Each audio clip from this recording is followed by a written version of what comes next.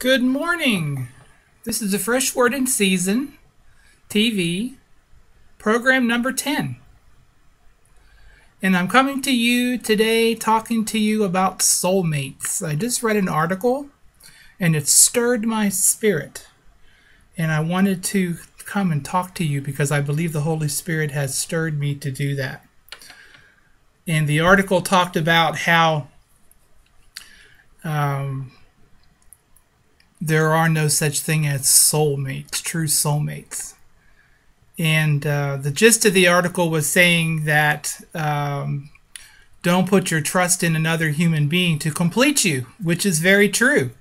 Because when you marry, you should marry to be uh, to be loved by the other person, but never uh, to the point of putting your complete uh, faith and trust in another person to complete you because you're complete in Jesus Christ. Uh, he's the one that completes you. Uh, the Father and the Holy Spirit and Jesus Christ is your completion. And uh, you should never count on someone else to complete you because you are complete in the Lord. And that is a wonderful thing to know. Because if I count on my wife or my, you know, or if you count on your spouse to complete you, you will be disappointed. Not that uh, the Lord didn't bring me a beautiful spouse because I prayed and the Lord brought me a wonderful woman and she is a wonderful wife and I am blessed, blessed, blessed to have her. However, I am flawed and she is flawed because we're all human. We're all in this human form and we can make mistakes. And in those mistakes, we can hurt each other. Not on purpose, but we can. So uh, we have to realize that and uh, realize that, you know, we all walk on the ground. We don't walk above the ground. We all, you know, if we walked across the water, we would sink. Jesus walked on the water, he didn't sink. You know, uh, I always say one one man walked on the water, the other guy fell in. Although Jesus picked him up and they walked back to the boat together. A lot of people miss that part on that scripture. So it is wonderful to realize that we can read an article and it can stir your spirit, and you can realize and uh, that uh, there's more to it than just what some people see. And I wanted to share with you that the Holy Spirit completes you. Um, he is here to protect us, to guide us, uh, Jesus said, I will go and make a place for you, and if I go, I will send you the Comforter.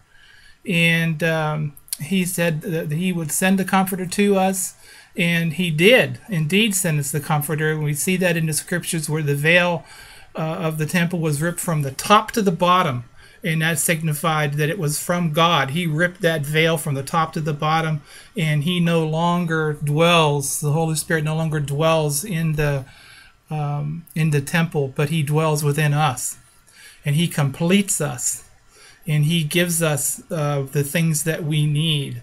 We learn. We need to learn how to access those things. If we need security and we don't feel secure, you know, Jesus died and gave us everything we need and gave us access to everything we need. He's done it all. He's not going to die again on the cross for us to give us some more. You know, he said, I've done. It's done. He said, it's finished. It's done. He's given us everything we need. And so we need to realize how to access this. We need to realize how to access things for our healing, things for our for our comfort. He said the Holy Spirit would come and comfort you. So if you are sad and upset or hurt, um, the Holy Spirit is here to comfort you.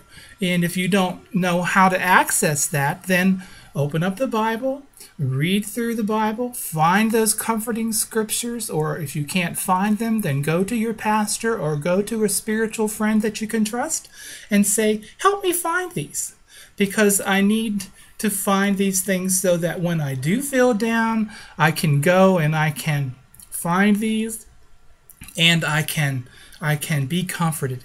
And you know, sometimes you just have to say, Lord, help. And those two words Oh my, that that moves mountains.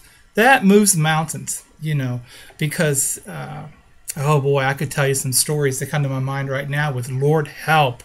Oh man, the Lord does help. But, um, you know, the comfort of the Holy Spirit and the completion, our completion is in Him. Our completion is in the Father, the Son, and the Holy Spirit. And so when we learn how to access for our completion, we will not lack any good thing because it says in the word that he wishes we would not lack any good thing. And, and then it also says that when Jesus died on the cross, he said, It is finished. And he said he wants us to have everything on earth as it is in heaven. So we have the ability to claim everything here on earth right now. That, have it now on earth as the same as we would have it in heaven. If we were walking in heaven right now and we needed something and we could have it, like health, like no diabetes, no sickness, we could have that here on earth if we could have that much faith. And so we have to find out how to connect into that. Now, I know that there's people out there dying of diabetes, and I know I have diabetes myself. And I'm not saying that you don't have faith if you have diabetes, because I have faith and I have diabetes. Now, why is that? I don't know. However, this I do know Jesus is not a liar. There's no lie in him. Who is the liar?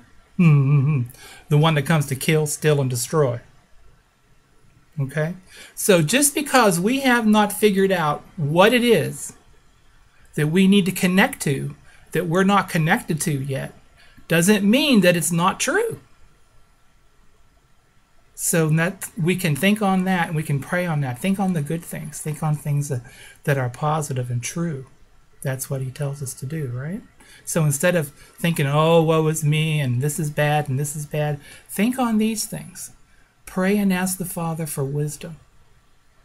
Say, Lord, give me wisdom to know how I should pray, to encourage myself, to lift myself up, to be strong, to be healthy, to be active, to be all these things that I need and want to be, so I can be fulfilled and I can feel fulfilled and feel strong. That way I don't look at look to somebody else to be encouraged or to be fulfilled. Because your spouse is not the person to look to. Your pastor is not the person to look to. We are to look to the Lord.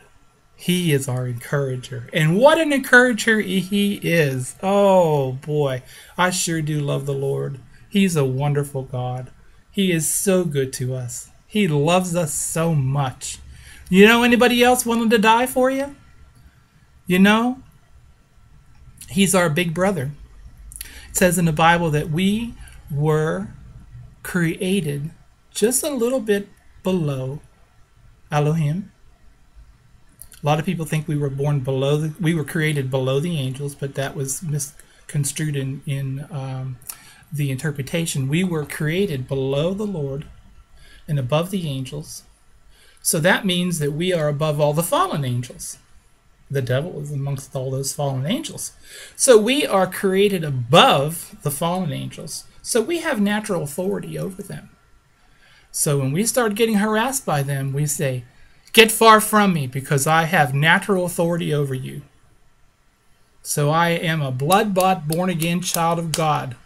You have no natural authority over me. So you get out of here in Jesus' name. And they've got to flee. So you're not harassed by them anymore. And you can be comforted in knowing that that will work every time. The enemy has got to flee. So you will not be harassed. So you don't have to be bullied and beaten up. And you know that God loves you because he's given you that power He's given you that wisdom to know how to deal with the bully. And he has to go because the devil won't be around anywhere where the blood of Jesus is. You can guarantee that. absolutely. Absolutely.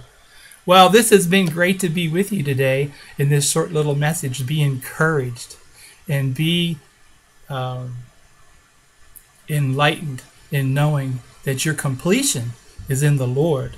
Your completion is in the Holy Spirit, in your edification. And trust in them. And trust in the Father, the Son, and the Holy Spirit. And in them, you will have everything you need. Well, we look forward to seeing you again when the Holy Spirit stirs our spirit and, and encourages us to come to, to speak to you again. This is program number 10 for a Fresh Word in Season TV. God bless. Shalom.